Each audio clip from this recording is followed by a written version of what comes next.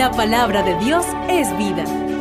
Ilumina nuestro corazón y alimenta el alma. Radio Natividad presenta el Evangelio de hoy.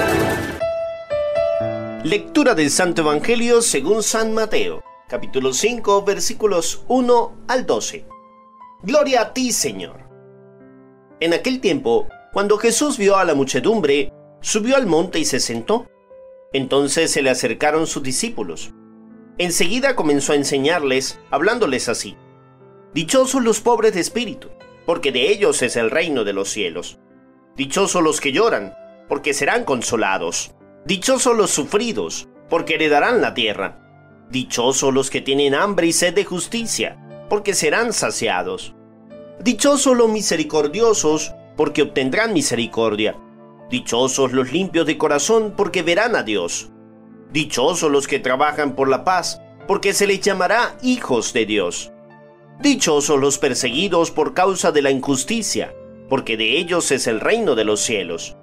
Dichosos serán ustedes cuando los injurien, los persigan y digan cosas falsas de ustedes por causa mía. Alégrense y salten de contento porque su premio será grande en los cielos.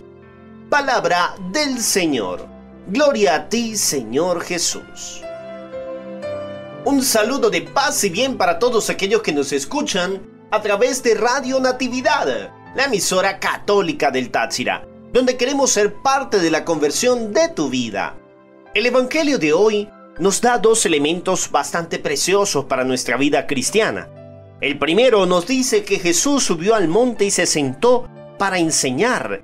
¡Qué hermoso! Jesús sube al monte y se sienta. Es lo mismo que hacemos en el templo. El templo es ese monte santo, ese lugar sagrado, ese lugar donde el Altísimo está presente en el sagrario, en la Eucaristía, en la palabra que escuchamos. Y se sienta para enseñarnos y nosotros nos sentamos para escucharle en la predicación. Es lo que debemos hacer como cristianos. En la iglesia sentados para escuchar y en el mundo de pie para enseñar. Pero qué triste que en nuestra vida cristiana parece que vivimos al revés. De pie escuchando la palabra en el templo y sentados en el mundo sin hablar, sin predicar, sin llevar el mensaje de salvación a los hombres. La segunda idea que nos da el texto que hemos escuchado hoy es la siguiente. ¿Quiénes son los dichosos? Los dichosos podemos agruparlos en tres categorías. El primero, los que sufren a causa de que no tienen a nadie que los ayude. Estos son los pobres de espíritu, los que lloran, los que tienen hambre y sed de justicia. Son los Lázaro de nuestro tiempo, que hay muchos ricos de Pulón alrededor y son indiferentes ante su sufrimiento. Estos son dichosos también porque de ellos es el reino de los cielos. El otro grupo son el de aquellos que luchan por la paz, que son misericordiosos, limpios de corazón, que hacen el bien, que trabajan, que no son indiferentes al dolor ajeno, que prestan su ayuda a los demás. Estos se llamarán hijos de Dios. Y el tercer grupo son los perseguidos, los que sufren persecución, señalamientos, los que sufren burlas, los que sufren injurias, a los que les dicen cosas falsas a causa de predicar el Evangelio.